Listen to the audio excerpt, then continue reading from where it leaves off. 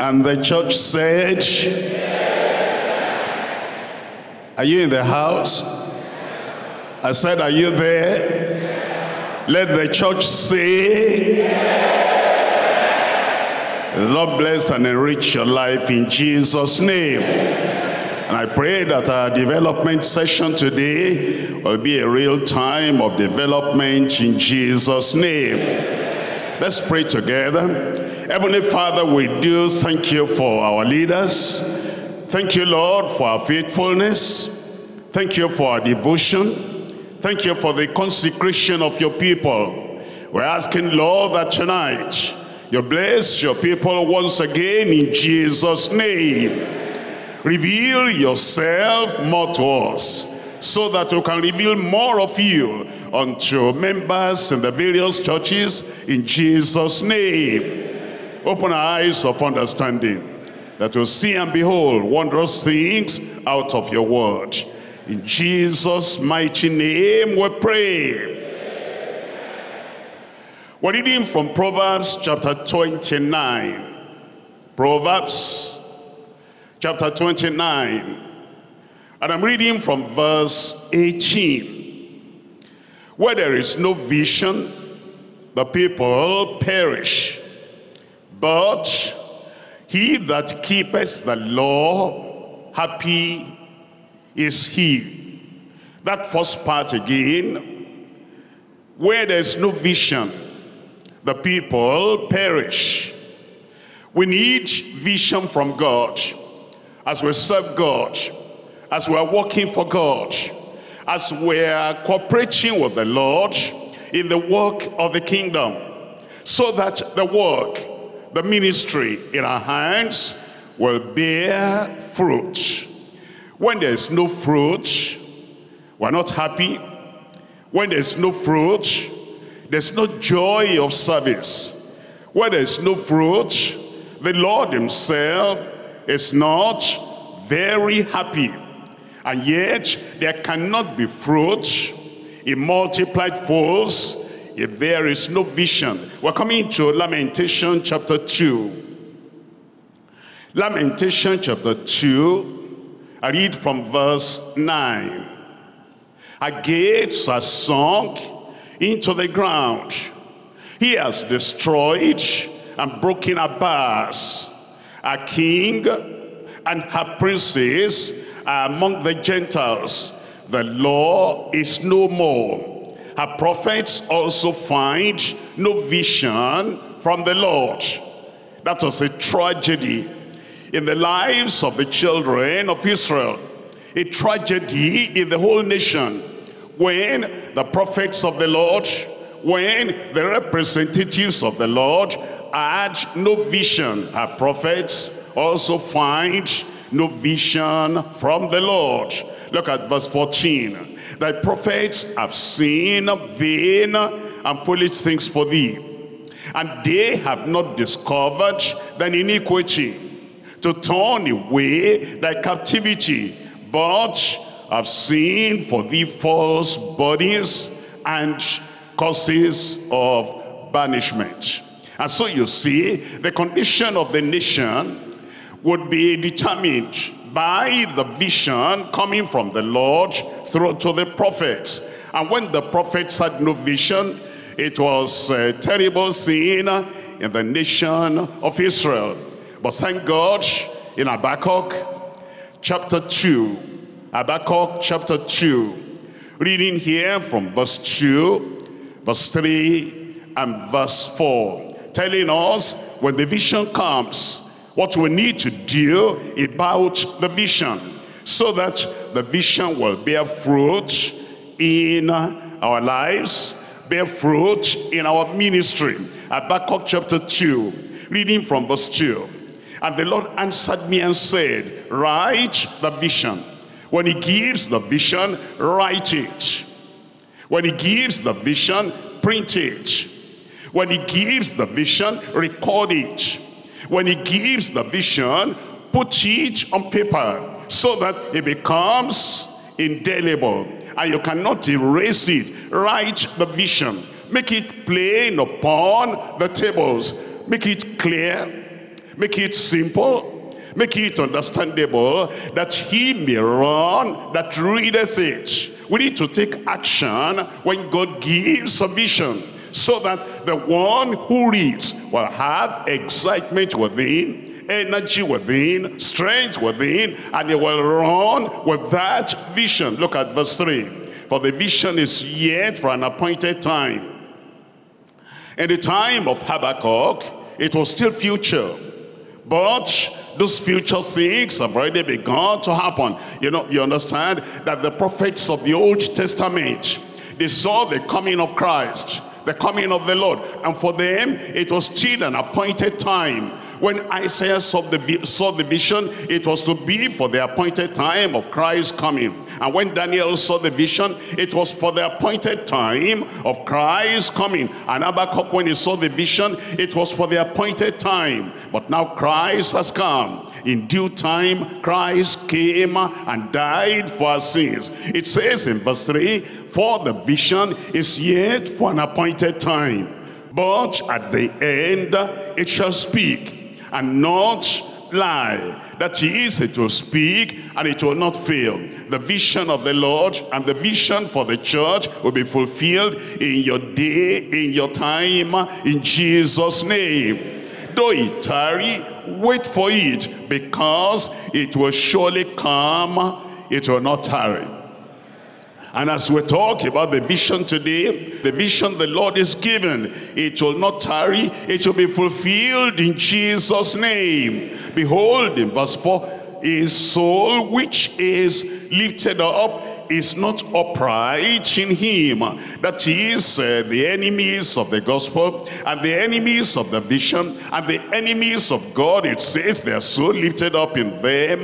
That's not upright, but the just shall live by his faith. You can tell then he's talking about the time coming when that vision of Christ's sacrifice, when that vision of Christ's atonement, when that vision of Christ's salvation being given to us will be fulfilled. And it says that by faith the just shall live. Let me show you an example of what to do when you have the vision. Tonight we're talking about the supernatural impartation of vision for fruitfulness vision for fruitfulness. The supernatural impartation when it comes, such a vision so that you'll bear fruit, so that the church will bear fruit, so that the ministry will bear fruit. There is a supernatural impartation, and it gives us that in a vision. And you have the vision of that fruitfulness. Look at illustration here in Genesis chapter 15. I'm reading from verse 1. Genesis chapter 15, verse 1.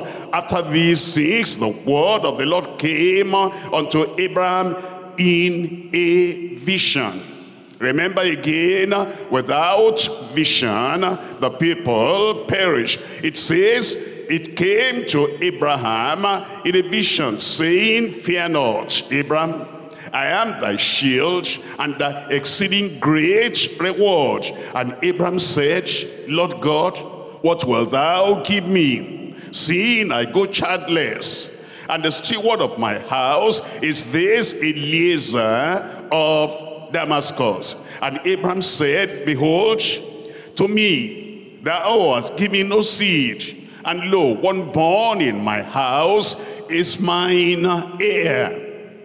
And behold, the word of the Lord came unto him, saying, this shall not be thine heir, but he that shall come forth out of thine own bowels shall be thine heir. Now look at verse 5. And he brought him forth abroad and said, Look now toward heaven. This is a vision now. This is revelation now this is a promise of God for him. And this is the assurance that he was not going to be barren. And you are not going to be barren. He was not going to be fruitless. And you are not going to be fruitless. That this uh, vision of the Lord meant for him that he would, he would be fruitful. Look now toward heaven and tell the stars if thou be able to number them. And he said unto him, So shall thy seed be. So shall thy seed be. Verse 6, and he believed in the Lord. He believed the vision. It was like unthinkable. It was like incredible. It was like unbelievable because he had no child yet. It's like somebody now is a worker. Somebody now is a Christian. Somebody now is a servant of God. And there is no church building. And there is no land. And there is no convert. And the church is uh, very small. Only what he met there. And the Lord brought him out and said, look up and look at the stars and look at how many there are so shall thy converts be and he believed in the Lord you believe the Lord tonight and he counted it to him for righteousness counted it to him for righteousness tonight the supernatural impartation of vision for fruitfulness we're coming to Mark chapter 4 Mark chapter 4, and I'm reading from verse 20. Mark chapter 4, verse 20. And these are they which are sown on good ground, such as hear the word and receive it and bring forth fruit. Tell me, number one. I say, tell me, what do you find there? Looks like you're not reading the Bible with me. Mark chapter 4 verse 20. Open your Bible, open your Bible. Mark chapter 4 verse 20. I'm going to read that again. And these are they which are sown on good ground, such as hear the word and receive it and bring forth fruit. Now tell me one. Some 30, tell me the next. Some 60 and tell me the next. Some and 100. As you look at what Jesus Christ was saying, you need to see the vision. The vision of fruitfulness and the understanding of Christ in fruitfulness. We sow the seed. There's a convert. And that single convert goes out. He also sows the seed in other people. And that single seed, as it multiplies and multiplies, you have some bearing fruit 30 fold and you have others bearing fruit 60 fold and you have others bearing fruit a hundred fold a vision from God is very important a single vision is worth more than 1,000 ideas 1,000 pursuits of the blind. Without a vision from God people perish. Without a vision from God souls are lost. Without a vision from God, lives are wasted. Without a vision from God, talents and skills are misused. Without a vision from God, opportunities pass by without bearing any fruit. And without a vision from the Lord, gifts become worthless. You know, whatever strength we have, whatever strategy we have, whatever church we belong to, and whatever work is committed into our hands, if we don't have vision, with that work, no vision, with that ministry, there'll be no fruit. We'll just be laboring like the blind, and then there's no result, and there is no fruit, there's no multiplication of the fruit concerning the work we're doing. And think about this as you go through the Bible. Abraham had a vision from God, and multitudes were blessed. As that vision came to Abraham, and God said, look at the stars, and if you can count them, so shall thy seed be. That vision generated in him multitudes that were blessed. Moses had vision of the burning bush, and a whole nation was delivered he saw the bush burning. He said, I'll turn aside. I'll see what is happening. As a result of that vision given to Moses, many, many people were delivered and the whole nation came out of their captivity. Joshua saw the vision of the heavenly captain and a weak nation became a warring, conquering nation. Think about Daniel Daniel saw the vision and when he saw the vision of the Ancient of Days, he passed through and survived in the lion's den and preserved a nation for a glorious future. You come to the New Testament and Peter saw the vision. And the vision Peter saw made the door of faith to be opened unto the Gentile world. He saw the vision that you'll go to the house of Cornelius. And he was doubting, didn't understand. While he was thinking on the vision, the Lord said, I've sent them, go with them.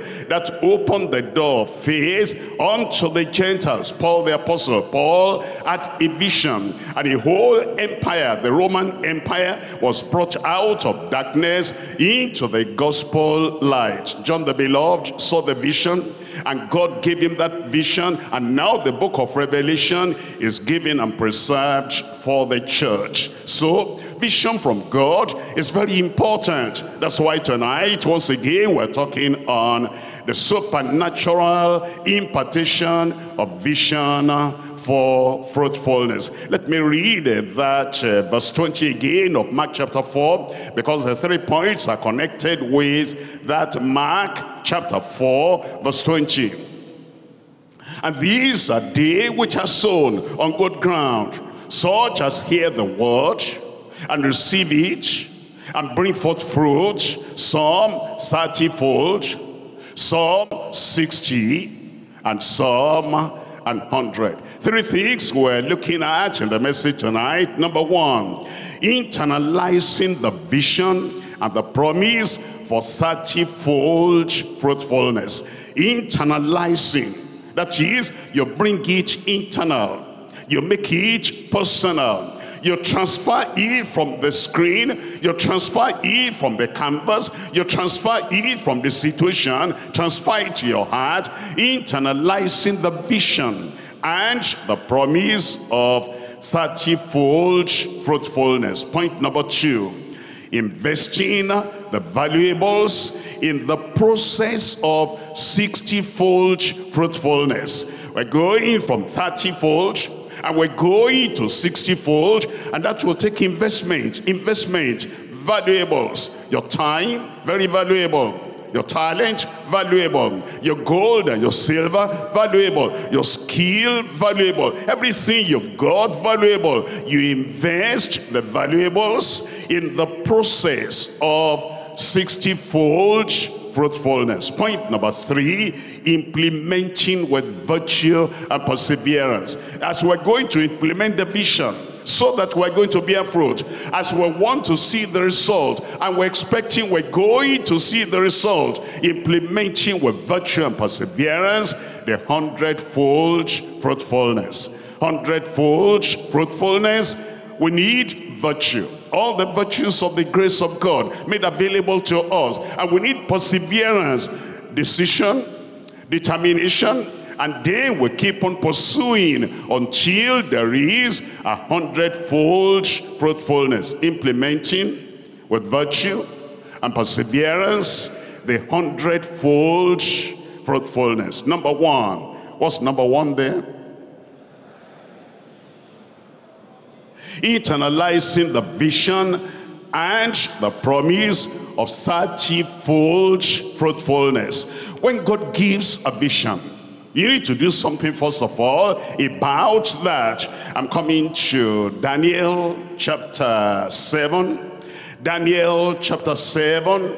And we're reading from verse 1. Daniel chapter 7, reading from verse 1. In the first year of Belshazzar, king of Babylon, Daniel had a dream and visions of his head upon his bed then he wrote the dream and told the sum of the matters. Daniel had the vision. And as Daniel had the vision, look at the last verse. We're looking at verse 28. See what happened when he saw the vision. Hitherto is the end of the matter. As for me, Daniel, my cogitations, that means my thoughts, my meditations, as I thought about it in my heart, as I turned it over in my heart, as I internalized the vision, It says, my cogitation much troubled me, and my countenance changed in me, but I kept the matter in my heart.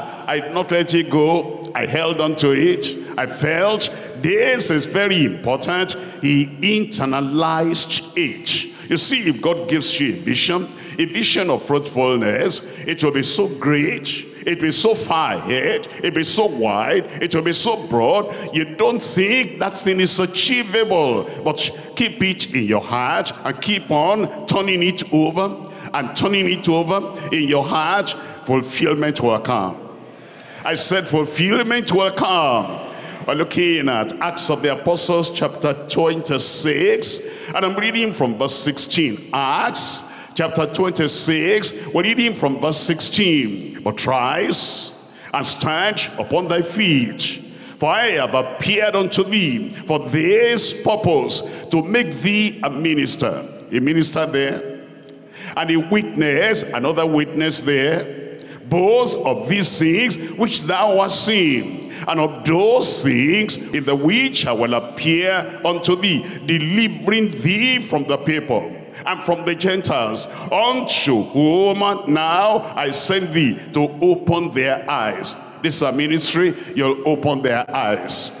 And then he goes on to say, and to turn them from darkness to light, and from the power of Satan unto God. And then he goes on to say that they may receive forgiveness of sins. That's a vision. That's the understanding. That's the calling. That's the ministry that he was going to receive. That the people, he preached to them repentance. And then grace will come to them. Conviction will come to them. They turn away from their sins. And then they have forgiveness of sins. And inheritance among them which are sanctified by faith that is in me. Look at verse 19. Whereupon, O King Agrippa, I was not disobedient unto the heavenly vision. He kept the vision in the heart. He held on to that vision all through his ministry, all through his life, ups and downs, difficulties and challenges and trials and tribulation and whatever was happening, he kept that vision. Very important, internalizing the vision and the promise of thirty-fold fulfillment, well, fruitfulness. We're coming to Mark chapter 4. Mark chapter 4. I'm reading from verse 14. Mark chapter 4 verse 14. The sower soweth the word.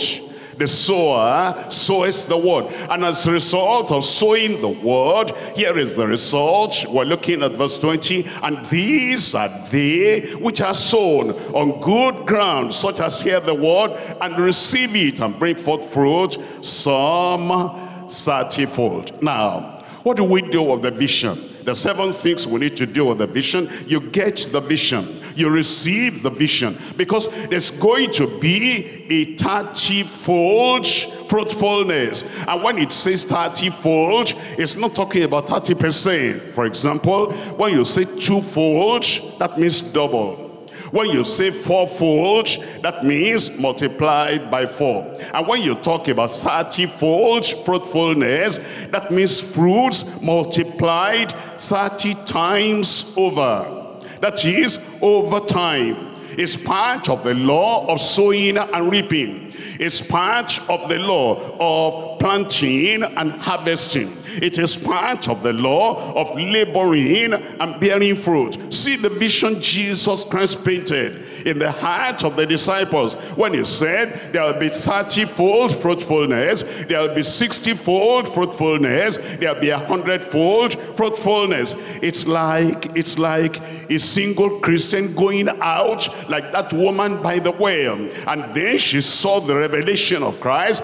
This is the Messiah. This is the Christ. This is my Savior. And then she went to town. I went to tell people, come see a man that told me everything I did. Is not this the Christ? And more than 30 people came out. More than 100 people came out. More than 200 people came out. The whole city came out and they said, now we know, not just because of your word, but because we have heard him ourselves. And we know that this is the Christ. 30-fold fruitfulness. That's possible. It's like that man that was delivered. And when he was delivered, then he wanted to follow Jesus. And Jesus said, no, go back home to thy friends and go and tell them all the things that Christ has done for you, how he has had compassion on you. And he went to Decapolis and went everywhere. And by the time Jesus came back, multitudes had accepted that testimony. That's like a 30-fold. In fact, his own was more than 30-fold, um, 30-fold fruitfulness.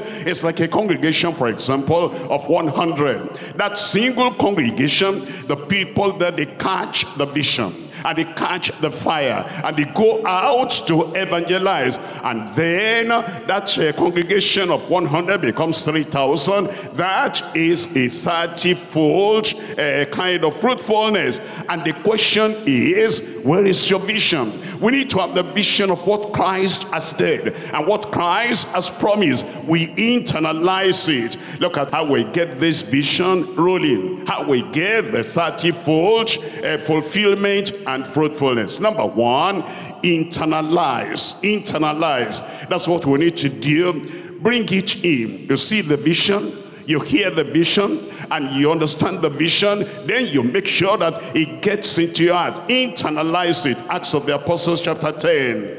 Acts chapter 10, I'm reading from verse 19. Acts chapter 10, verse 19. While Peter thought on the vision. You see that?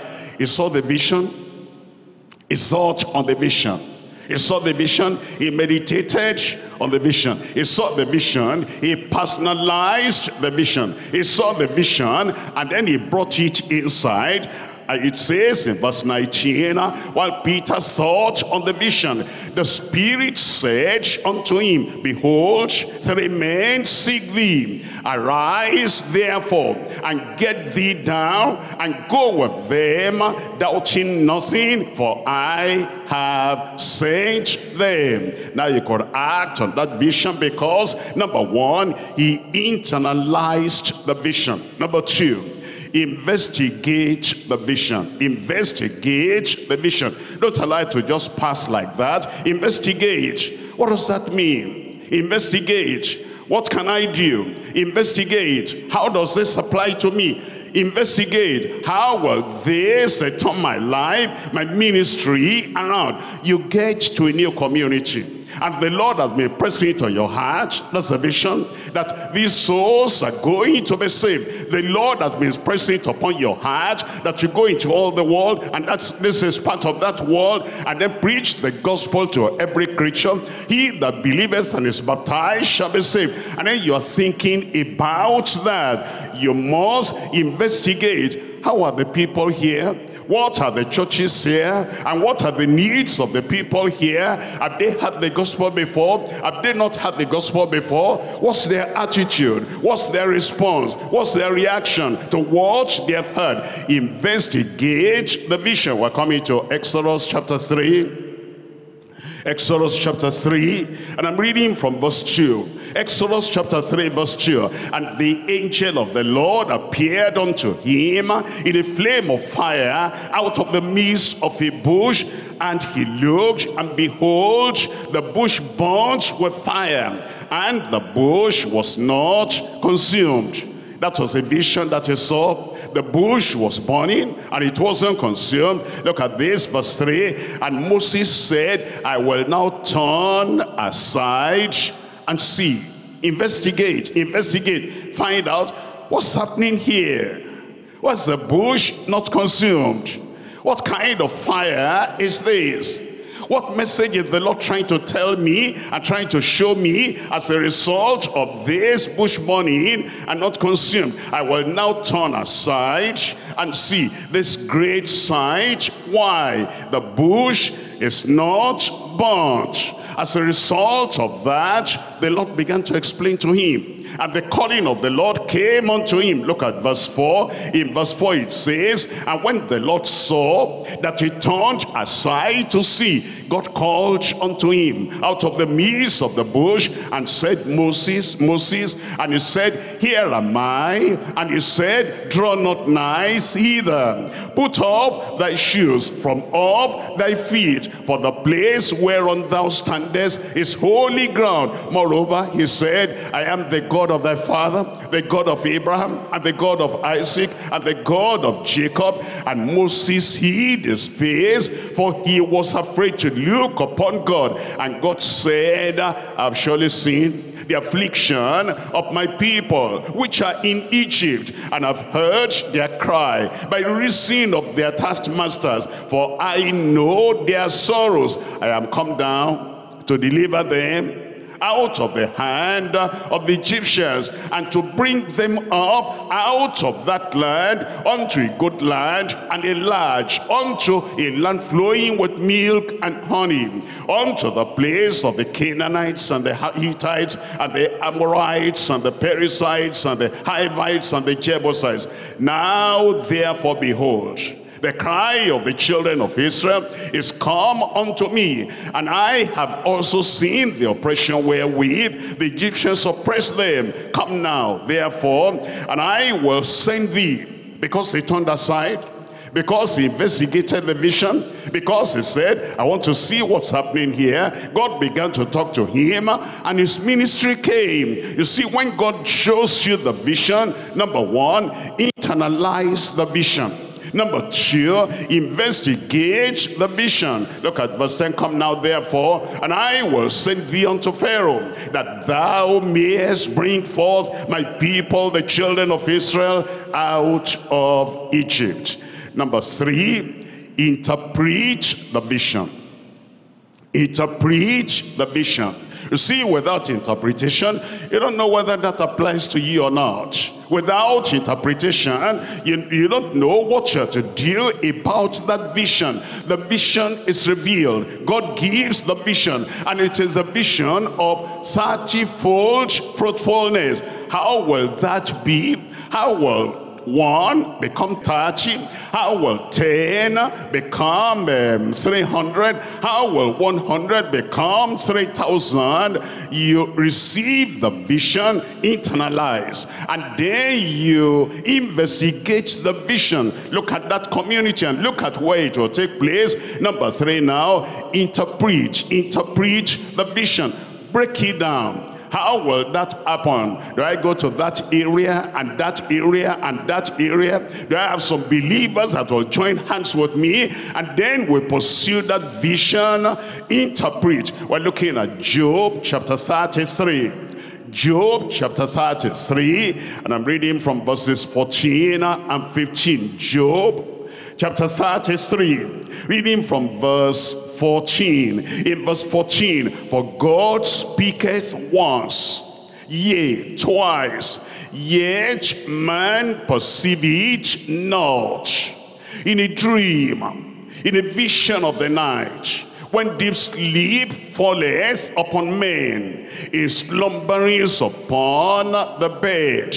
And it says in that verse 14, yet there is no understanding. But look at verse 23. Verse 23, if there be a messenger with him, an interpreter, one among a thousand to show man his uprightness. Then you can continue reading later. You see, interpretation is necessary.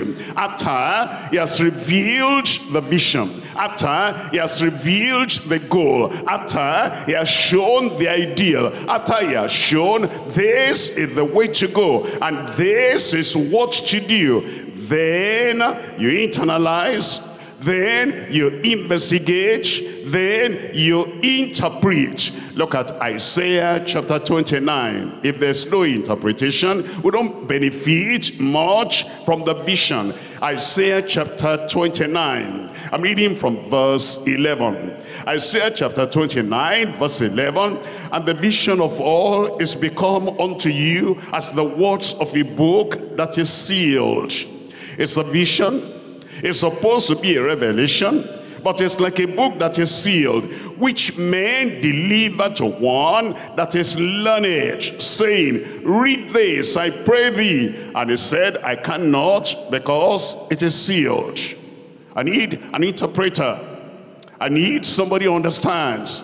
I need the same spirit that gave the vision to interpret it to me. I cannot because it is sealed. Look at verse 12. And the book is delivered to him that is not learned, saying, Read this, I pray thee. And he says, I am not learned. The point there is that we need an interpreter we need interpretation. Look at verse 17. Is it not yet a little while and Lebanon shall be turned into a fruitful field? I didn't hear the amen. And the fruitful field shall be esteemed as a forest. Number one, internalize the vision. Number two, investigate the vision. Number three, interpret the vision. Number four, inform others about the vision. Influence others with the vision. Instruct others about the vision. Inspire others to run with the vision. Inform them. Instruct them influence them, inspire them, carry the vision, take it to your congregation. The congregation just dormant there. The congregation almost blind. The congregation no excitement. The congregation, they don't know what to do. They just come to church, everything. Give me, give me, give me. They want this, they want this, they want that. Inspire them influence them, instruct them, and let them know about the vision. It tells us in Habakkuk chapter 2, Habakkuk chapter 2, reading from verse 1. Habakkuk chapter 2 verse 1, I will stand upon my watch and set me upon the tower and will watch to see what he will say unto me and what I shall answer when I'm reproved. And the Lord answered me and said, write the vision. And it says, make it plain upon the tables, that he may run that readeth it. Make it known. Share it with other people. Instruct other people. Influence other people. Inspire other people with that vision of fruitfulness for the vision is yet for an appointed time. But at the end, it shall speak and not lie. Though it tarry, wait for it, because it will surely come. It will not tarry. The latter part of verse 4, the just shall live by his faith. Look at verse 14. In verse 14, this vision is going to be realized. This vision is going to happen. You receive the vision. You internalize the vision. And you interpret the vision. And you investigate the vision. And now you pass it on. And as you pass it on, every member of the church, of the local church, every member of the church, of all the churches in the city, Every member of the church, the church in the nation, as we receive the vision. And everybody is ready to run with the vision. Look at the result in verse 14. For the earth shall be filled with the knowledge of the glory of the Lord as the waters cover the sea. A better amen than that. Number five, intercede. Intercede. Pray as a result of that vision, when you get the vision, this thing is beyond human strength. It's beyond what you can do by yourself. It's beyond what you can accomplish by yourself. Intercede. Make sure that you send your prayers unto the Lord as a result of the vision. prayer. The whole church praying. The membership praying. The leadership praying. The family is praying. In our devotional sessions in our homes, as individuals or family members, we take this vision to the Lord, the vision of fruitfulness. Intercede on the basis of the vision. Acts of the Apostles chapter 16. Acts chapter 16, I'm reading from verse 9. Acts chapter 16, verse 9. And a vision appeared to Paul in the night. A vision appeared to Paul in the night. There stood a man of Macedonia and prayed him, saying, Come over prayed him saying pleaded with him and there's somebody over there who had been praying if the light will come to us if the gospel will come to us, if preachers of salvation will come to us, they were fed up with idolatry. They were fed up with their tradition. And some people were praying, God, reveal yourself and reveal the light more to us. And this is what Paul the apostle saw when he saw that one man of Macedonia prayed and said, come over into Macedonia and help us. And after he had seen the vision, Immediately we endeavored to go into Macedonia, assuredly gathering that the Lord had called us to preach the gospel unto them. Therefore, loosing from Troas, we came with a straight course to Samothracia and the next day to Neapolis. And then in verse 12, and from thence he goes on and on like that. And now we come to verse 13, and on the Sabbath day we went out of the city by a river where prayer was wont to be made. Prayer brought him and then they got to a prayer meeting. Look at that again. You surround the vision with prayer so that there'll be a fulfillment of the realization of that vision. And then he goes on to say, and we sat down and spake unto the women which resorted thither. Number one, internalize the vision. Number two, investigate the vision. Number three, interpret the vision. Number four, inform, instruct, influence, inspire others with the vision. Instill the vision in the hearts of many more people. Number five, intercede on the basis of the vision. Number six, initiate action initiate action don't just say well god that's a great vision that's a wonderful vision. I appreciate that vision. Thank you, Jesus. Thank you, Lord. You revealed all that to me. Start doing something initiate action, initiate strategy, initiate something to do on the basis of that vision. Come back to that same chapter 16, Acts of the Apostle chapter 16. I'm reading from verse 10. Initiate action on the basis of the vision. It says, and after he had seen the vision, immediately initiate action, immediately we endeavor to go into Macedonia, assuredly gathering that the Lord had called us for to preach the gospel unto them. Look at verse 13.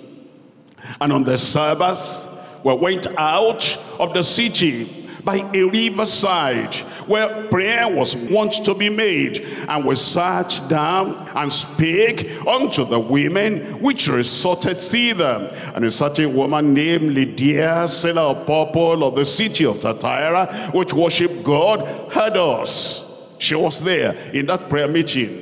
She had us whose heart the Lord opened, open to the truth of the gospel, open to the word of salvation. And she attended unto the things which were spoken by Paul, obedience of faith responding to the word of faith. And it goes on to say, and when she was baptized, she believed and she was baptized and her household she besought us saying if ye have judged me to be faithful to the lord come into my house and abide there and she constrained us that house became the starting point now of reaching out with the gospel to many, many other people.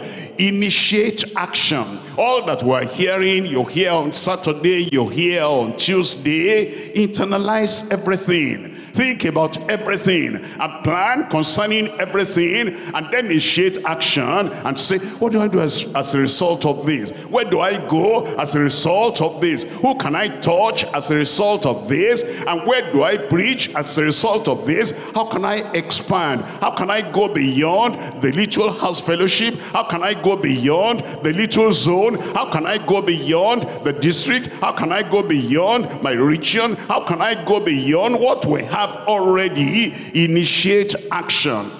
Number seven, inculcate.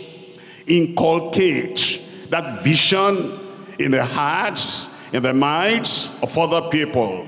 You're not going to be the one alone that has all these privileges. I hear that on Tuesday. I've heard that on Saturday.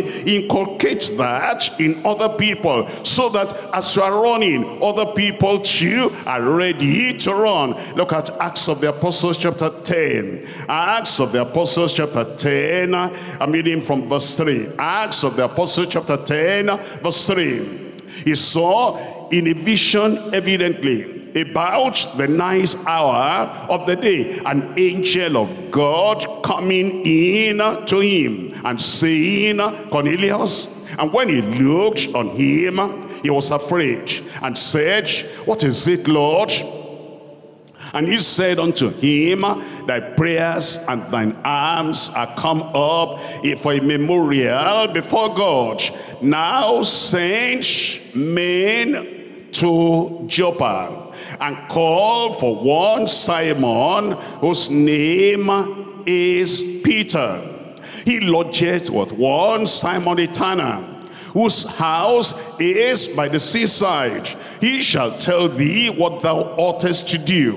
And when the angel will speak unto Cornelius, was departed, he called two of his household servants. was going to inculcate it into them, instill it into them drive it into them. It was going to make them part of the vision to be fulfilled. And a devout soldier of them that waited on him continually. And when he had declared all these things unto them, what did he do? Tell me out aloud, what did he do? He sent them to Joppa get other people involved with the vision. Inculcate the vision. And look at verse 24.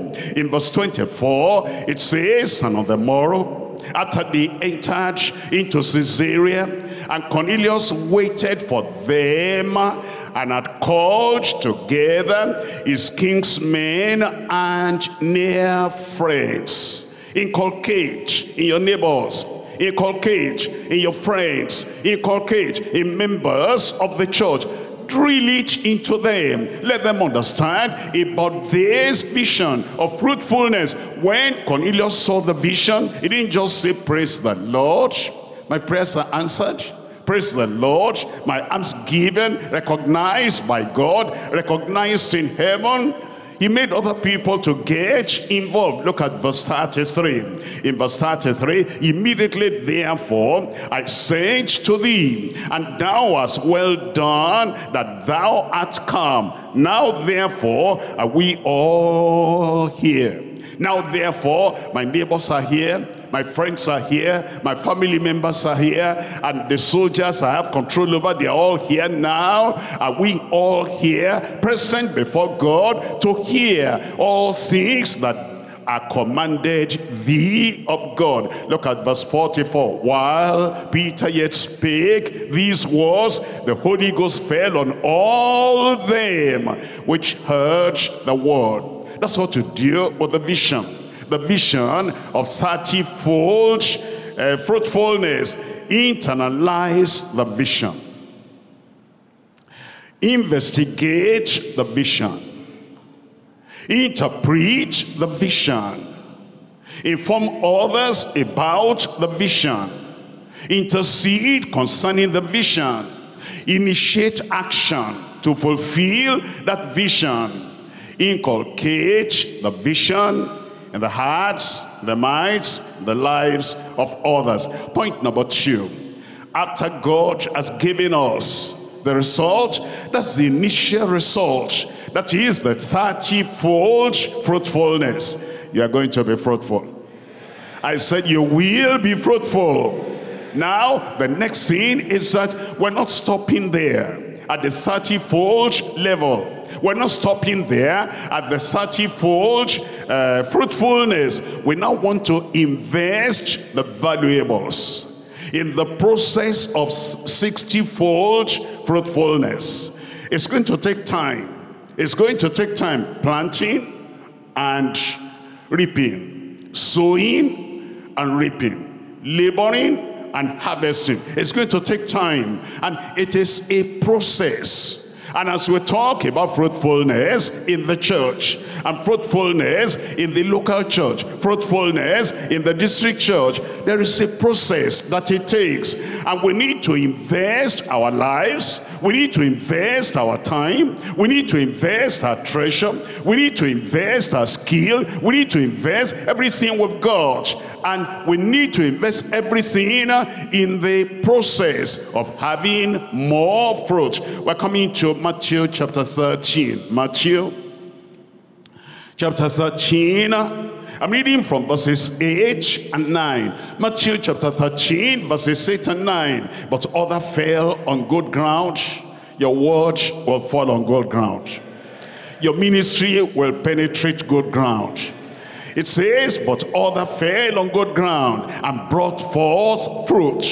Some an hundredfold, some sixtyfold, some thirtyfold. We're reading from verse 9. In verse 9, uh, who has ears to hear, let him hear. I have ears to hear. I hear. I receive and it's going to work in my life. It's going to work in my ministry. 60-fold fruit. Look at the vision here. Acts of the Apostles, chapter 18. Acts of the Apostles, chapter 18. Reading from verse 9. Then spake the Lord to Paul in the night by a vision. New Testament, New Testament. God revealing himself to the laborers, to the servants, to the apostles, to the preachers, because their minds were on the work of God. Their minds were on the evangelization of their whole world. And because their minds were there, and because they centered their affection on it, and because they were willing to sacrifice everything, the Lord revealed himself unto them in a vision, the vision of fruitfulness. It says, be not afraid, but speak. Hold not thy peace, for I am with thee and no man shall set on thee to hurt thee. For I have, tell me, for I have, say it aloud, for I have, I want to hear you here, I have much people in this city. We're going from 30-fold fruitfulness and we're going to 60-fold fruitfulness. I have much people in this city. As a result of that, verse 11, he continued there. A year and six months teaching the word of God among them teaching the word of God among them. Remember once again, let's look at that again. Proverbs chapter 29. Proverbs chapter 29, reading from verse 18. Where there is no vision, the people perish. Where there is no vision, the people perish. If you look at the ministry of Paul the apostle, he had challenges in most of the places he went. And if there were no vision, he would have quit. He would have said, there's no point. The trouble is too much. There's no point. The trials are too many. There's no point. The oppression is too great. There's no point. The opposition is so terrible. And because of that, I'm leaving. After all, I have other things I could do with my time. But a man of vision will never quit And that's why you'll never quit. I said that is why you will never quit. Because you see, he was a man of vision. And because he was a man of vision, he saw the vision, he accepted the vision, he internalized the vision, he investigated the vision, he interpreted the vision, he influenced other people concerning the vision. He interceded because of the vision. He initiated action because of the vision and he inculcated it, instilled it in the lives of many other people concerning the vision. Because of that, he kept going and kept going and it was fruitful. It bore fruit. Where there is no vision, the people perish. If there is vision, our people will not perish our communities will not perish our local governments will not perish and the places where we came from and were ministering they will not perish in jesus name now fruitfulness is a practical issue in all areas of life. Each one must do something to bear fruit, to bear more fruit, to bear fruit. That's the first level, 30-fold to bear more fruit that's the second level 60 fold and to bear much fruit that's the third level a hundred fold and what are we going to do in the process number one travail with fervency travail with fervency. You want to see the fulfillment of the vision. Travail with fervency. We're looking at Isaiah chapter 53. Isaiah chapter 53. And I'm reading from verse 11. Isaiah chapter 53 verse 11. He shall see the travail of his soul. He shall see the travail of his soul. And then it says, and shall be satisfied. By his knowledge shall my righteous servant justify many. Many will come to salvation. Many will come to justification, for he shall bear their iniquities, travail, travail, travail, and pray with real passion and pray with real fervency because you're praying, you're traveling for those souls that need to come into the kingdom of God. Isaiah chapter 66, I'm reading from verse 7. Isaiah chapter 66, we're looking at verse 7. Before she travailed, she brought forth, traveling. Before her pain came, she was delivered of a man child who has heard such a thing, who has seen such things, shall the earth be made to bring forth in one day, or shall the nation be born at once? For as soon as Zion travailed, she brought forth her children. Many preachers don't have any converts because they don't travail. They are not fervent and they're not seeking the face of the Lord. They just go from day to day, the rounds, the regular things, the usual things, and there is no prayer, and there is no travail. But it says, because Zion travailed, she brought forth her children. Number two, team up. Team up with focus. You're focusing on one thing you're focusing on fruitfulness. And because of that, you team up with others of like precious faith, others of the same mind. Ecclesiastes chapter 4. Ecclesiastes chapter 4, I'm reading from verse 9. Two are better than one because they have a good reward for their labor. Two are better than one because they have a good reward for their labor. You have this vision. You want to carry out this vision. You see the vision of fruitfulness and you want to bear fruit, much fruit. Then you team up with others of like precious faith, others of the same mind with focus. You focus on the reason why you're teaming up. Um, Luke chapter 10. In Luke chapter 10, reading from verses 1 and 2. Luke chapter 10, verses 1 and 2. After these six, the Lord appointed other 70 also, and sent them two and two before his face. He sent them two and two. He paired them up. And then it goes on to say, to the place whither he himself would come. Therefore said he unto them, the harvest truly is great, but the laborers are few.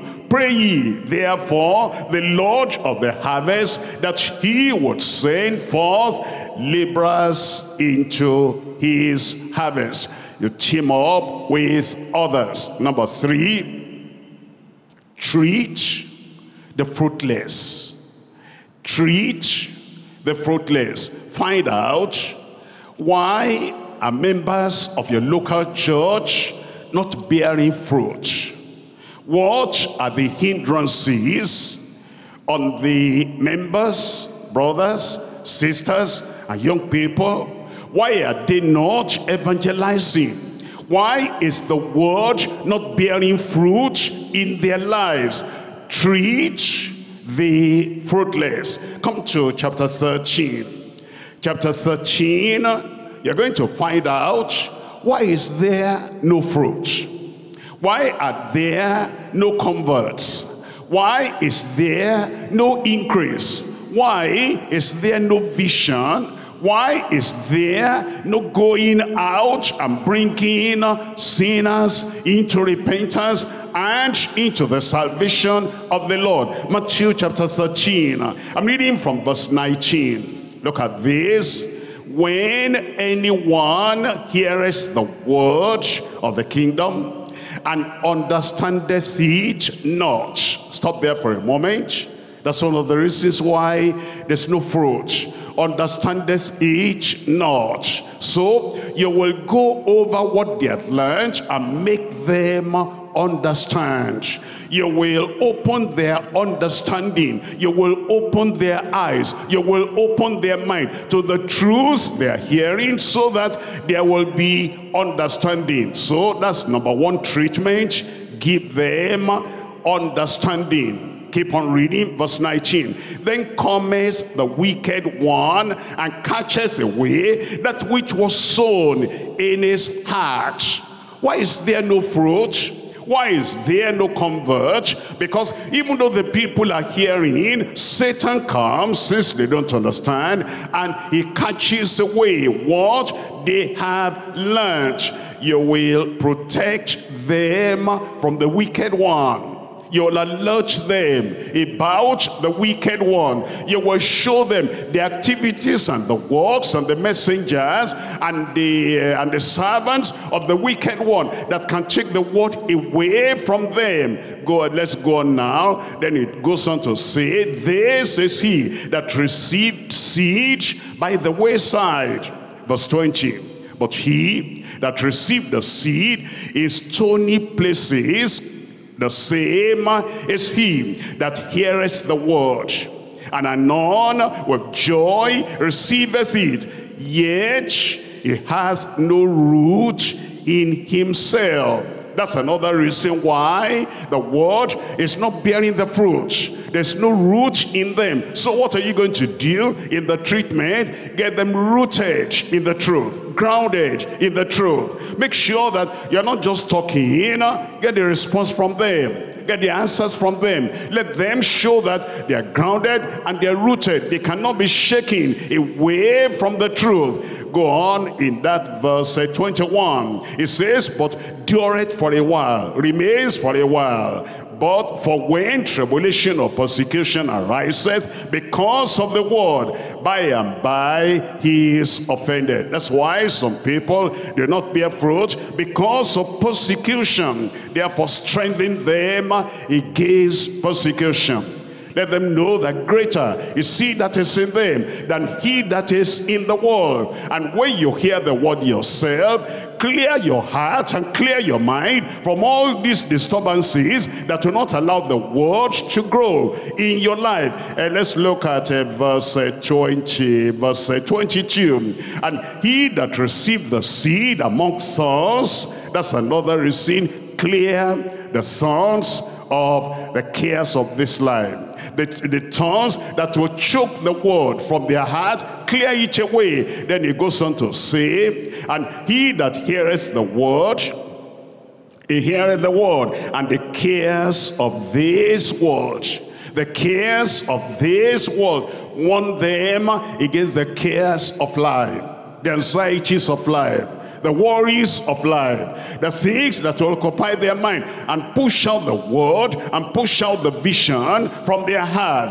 And then he goes on to say in verse 22 uh, that they choke the word, the deceitfulness of riches. Warn them about the deceitfulness of riches. You know, running after this, after this, the love of money is the root of all evil. Warn them against that.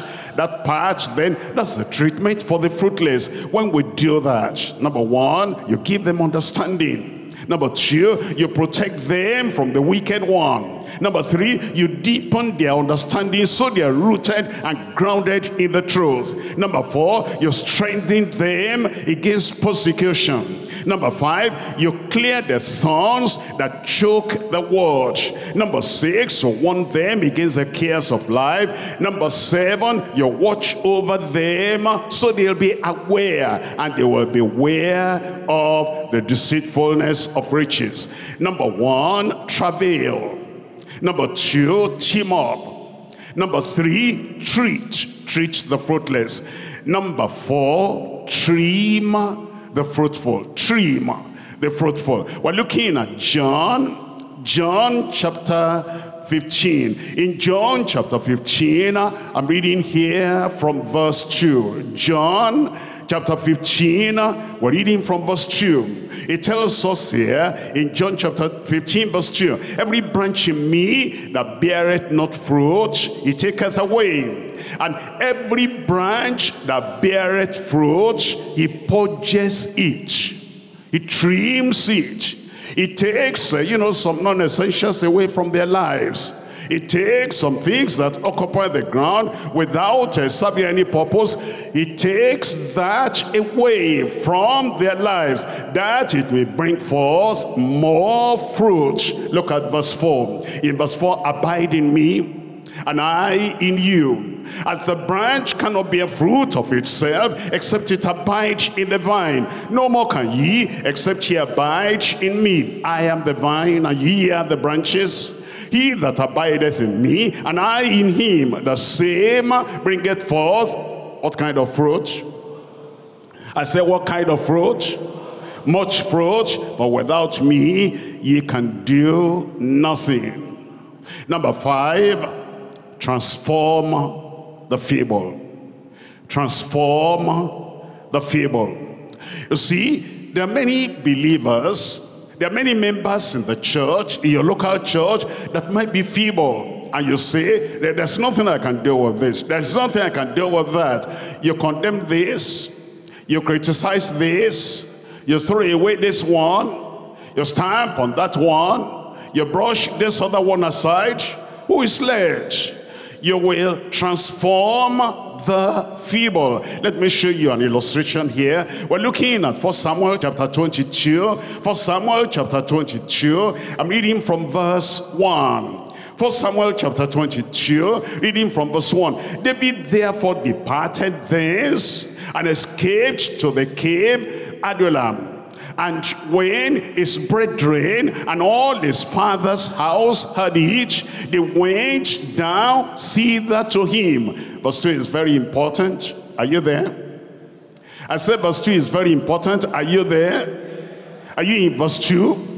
And everyone that was in distress, and everyone that was in debt, and everyone that was discontented gathered themselves unto him, and he became a captain over them.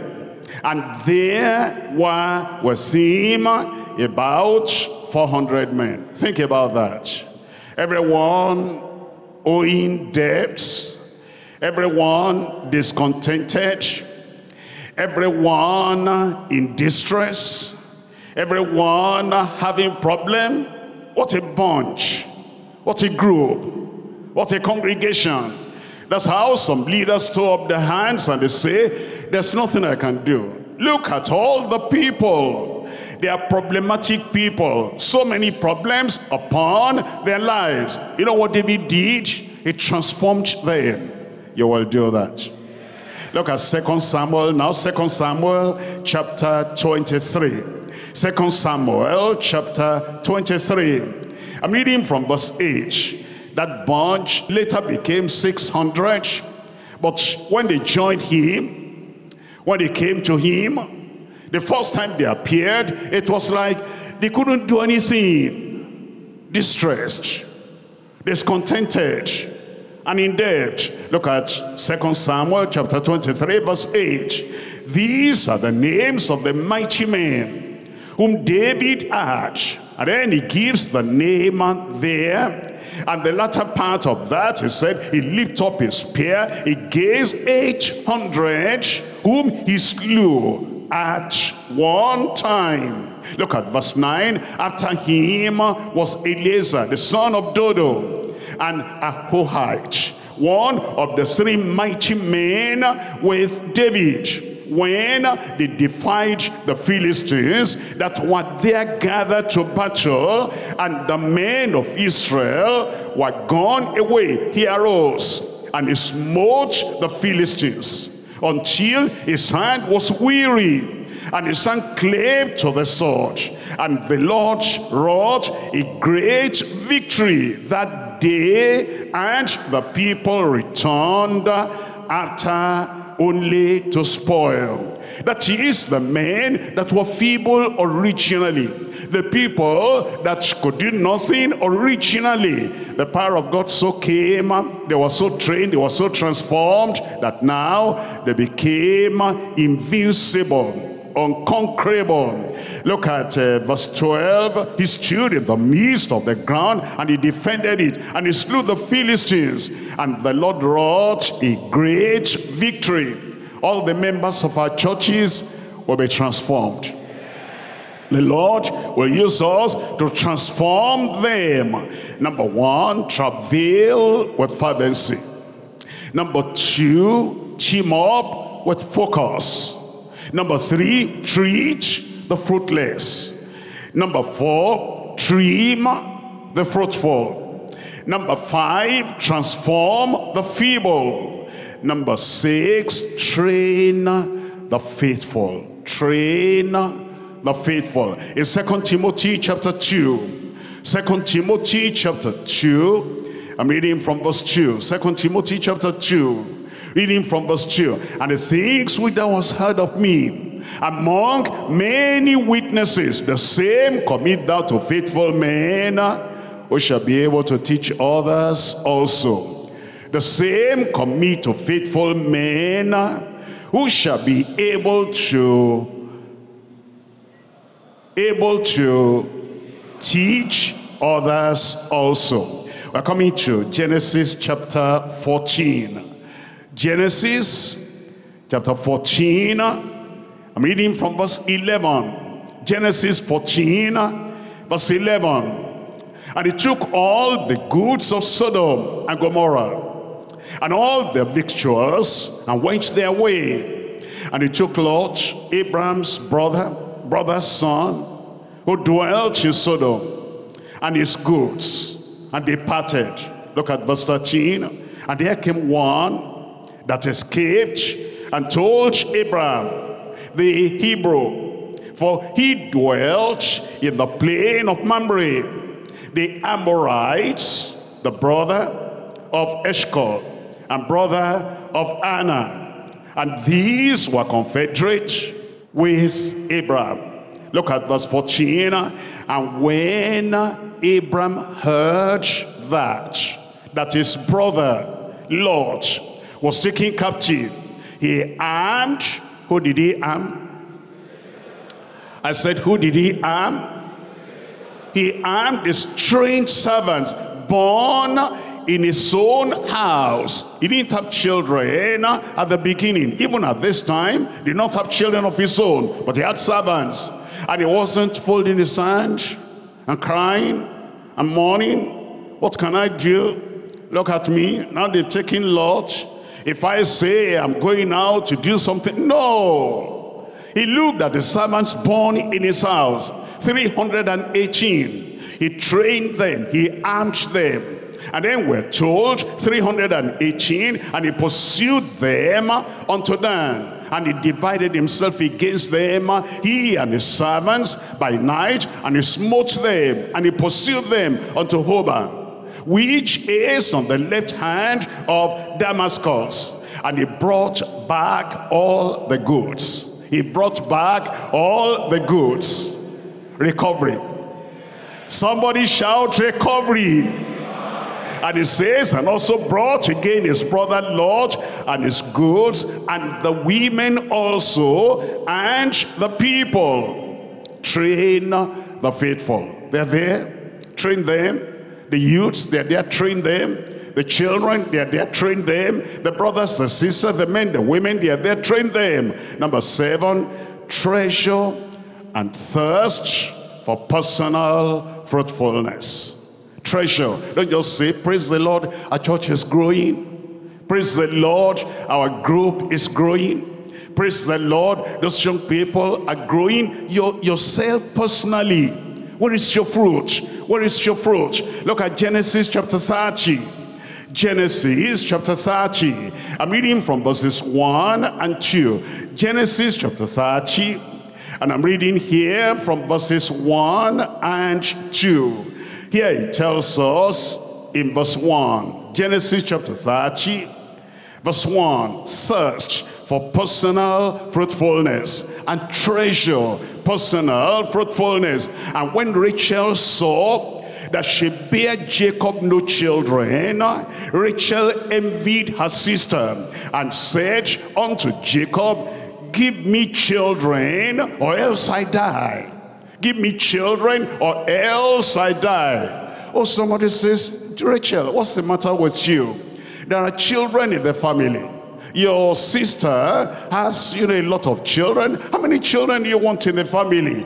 Take care of those other children. Don't think about your personal self. But the woman said, give me children or else I die. She wanted children. You want children. Look at verse 22. And God remembered Rachel. God will remember you. If you're thirsty, he'll remember you. If you're passionate about it, it will remember you. God remembered Rachel, and God hearkened to her and opened her womb. Verse 24, and she called his name. Tell me the name. Tell me the name Shout out the name. She called his name Joseph and said, the Lord shall add to me another son. Hold on now. All the other children in the family before Joseph came, what did they become? As you think about that family, and you think about the family that came, and you think about the salvation and the protection and the provision for the whole of the land of Egypt. None of the other children but Joseph was used of God. That's why you cannot say all those other children are there. Why am I going to personally be asking for my own convert? Why am I asking for my own fruit? Look at chapter 50 chapter 50 and I'm reading from verse 19 chapter 50 verse 19 God used that Joseph in chapter 50 verse 19 and Joseph said unto them fear not for am I in the place of God? But as for you ye thought evil against me. But God meant it unto good to bring to pass as it is this day, look at this, to save much people alive. That single child, Joseph, as a result of the passion, as a result of the thirst, as a result of the treasure that Rachel had, I must have my own fruit. You will have your own fruit. And so you invest valuables in the process of 60-fold fruitfulness. Point number three now. Implementing with virtue and perseverance the hundredfold fruitfulness. Implementing with virtue and perseverance the hundredfold fruitfulness. We're coming to Mark chapter 4. Mark chapter 4. I'm reading from verses 14 and 20. Mark chapter 4 verse 14. The sower went forth, the sower sows the word. The preacher preaches the word. The teacher teaches the word. The evangelist preaches the word. And now in verse 20, and these are they which are sown on good ground, such as hear the word and receive it and bring forth fruit, some 30 fold, first level, some 60 second level and some an hundredfold. Is that possible? I said in your life is that possible? In your ministry is that possible? Genesis chapter 26 genesis chapter 26 verse 12 Genesis 26 verse 12 Then Isaac sowed in that land and received in the same year, tell me, an hundredfold, and the Lord blessed him. You're going to become another Isaac. A hundredfold in Jesus' name. Psalm 126, Psalm 126, Psalm 126, verse 5. They that sow in tears shall reap in joy.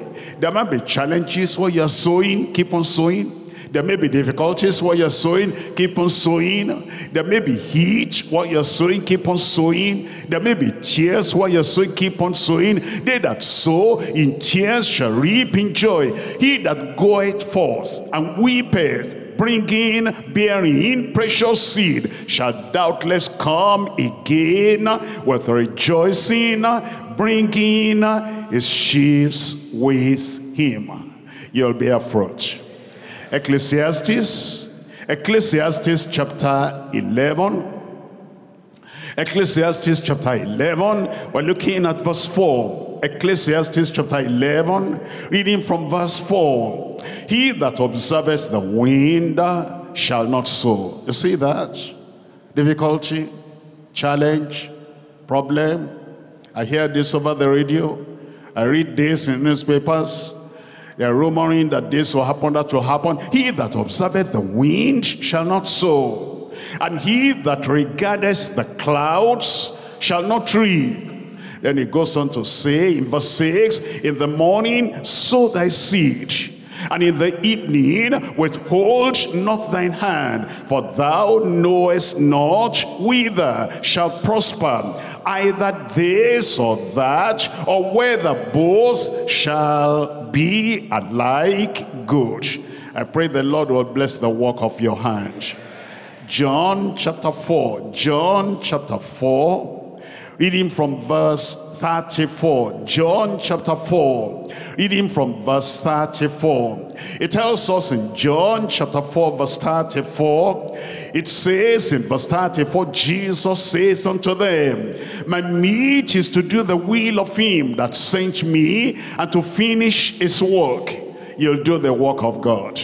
And this work will prosper in our hands together in Jesus' name. Say not ye that yet four months, and then cometh the harvest. Behold, I say unto you, lift up your eyes and look on the fields, for they are white already to harvest. He that reapeth receiveth wages, and gathereth fruit unto life eternal, that both he that soweth and he that reapeth may rejoice together. We shall rejoice together in Jesus' name.